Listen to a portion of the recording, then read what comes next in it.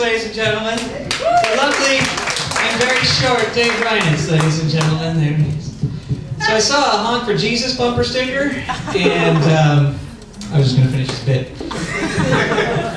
Thanks for coming, everybody. It's great to see you here. We enjoy having you all here. Uh, I especially thank the folks who sat right down front, because a lot of times at comedy shows, people go, "Oh, I don't want to sit down front." No, because the comedians will pick on us, but I'm not going to pick on anybody. Welcome to the front. It's great to have you here. Well, what's your name? Melissa. Let's give Melissa a big round of applause for being our show.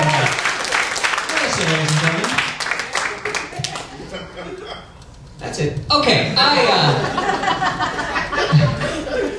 it's great to be here. I love doing. I love doing stand-up comedy. It's a lot of fun. Uh, the thing I've learned though, being a comedian for so long, is that you kind of have to watch what you say in certain situations. Because as a comedian, you always want to say the funny thing, like what, no matter what kind of situation you're in. And I found out that there are some situations where you should just shut up. And uh, I was driving from San Francisco to Los Angeles with my brother, and uh, we were driving down Interstate 5, and a police officer pulled me over. He said 90 plus, whatever that means, a crazy couplingo. But uh, God bless the police officers. I would not want to have that job. It's a, it's, a, it's a tough job. But he did that really stereotypical police officer thing where he walked up to the side of the car, put his arm against the window, and said, So, what's the rush? And I had to physically stop myself before I said, Well, the body in the trunk was starting to smell, and uh, we had to get it home into the ground before it got. Uh, so I, I, didn't say that. I, uh, I stopped myself, and as, uh, he gave me my nice $280 ticket, and uh, as we're pulling away, I lean over to my brother and I go, This is what I was going to say. My brother goes, Oh, that would have been funny. But what I would have said is, We're just trying to get home to your wife before you do, officer.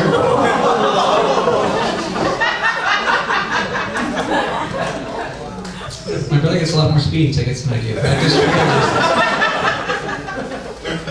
I another situation, uh, uh, you know, I want to be one of those. Um, those uh, big mega superstars that uh, the kids can look up to because I think kids need a lot of good role models. So uh, I decided uh, to I would live my life in a way that I think kids should live their lives. So uh, the first thing I did was I went out and got an STD test, uh, and I didn't I never had an STD test, an STD test before, and I didn't know how to do it, what you know how to how to go about it. But I listen to Loveline a lot, and on Loveline they say.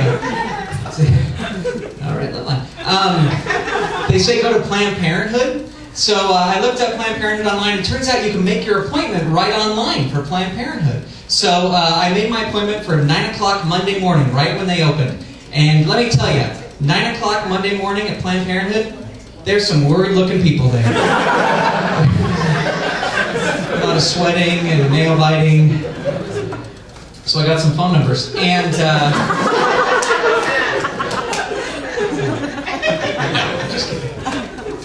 Um, but I went up to the counter, and uh, this is another thing I learned uh, was I went to the counter and I go, uh, yes, I'd like an STD test. And I didn't know this. Uh, there's not just one STD test. You don't just get one. There's different ones for different things. And she goes, well, which STD test would you like? And I said, well, what do you got? And she said, uh, let's see, uh, would you like a herpes test? And I go, yes, I would. And she goes, okay, that'll be $18. Uh, would you like an HIV AIDS test? And I go, yes, please, I would. And she goes, all right, that'll be $48. And she goes, would you like a uh, chlamydia test? And I go, I'm here. And she goes, okay. $18. Uh, would you like a syphilis test? And I go, yeah, let's, let's check it all. And she goes, hmm, uh, syphilis is very rare. I'd be very surprised if you had syphilis. Well, thank you, but uh, I would like, I would like to get a, I would like to get a, a test for. And she goes, all right, let's see, syphilis, one dollar. one dollar? One dollar for a syphilis test? She said, yeah. Syphilis test for everybody. Who wants them? I'm buying. They did not think that was funny. Uh, here's your number. Have a seat, sir. Uh, but I, I, just told you that story basically to say, ladies, I'm clean. Uh, I don't even have syphilis. I checked 20 times. Um, so, uh, I can see the ladies are going to be lining up afterwards. It's going to be great. Uh, I'm on MySpace. If you go to myspace.com slash throwing toasters, uh, I love saying that out loud uh, for an audience because then I run right home and sign on and no friends. Uh, you and me again tonight, Tom. Uh, I, uh, I'm, a, I'm a substitute teacher during the day because I feel megastars should give back to the community. And uh,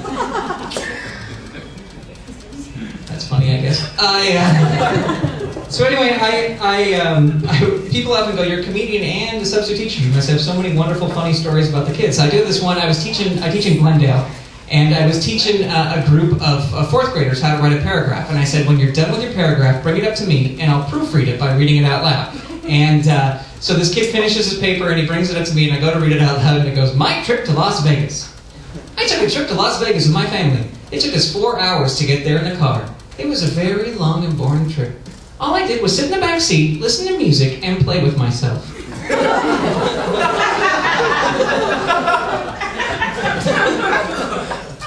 uh, Michael, um, don't you mean you were playing by yourself? And he goes, What do you mean? And I go, Well, I mean, there was nobody else in the back seat with you. You were there all alone. You were playing by yourself. And he goes, No, I meant I was touching my penis. all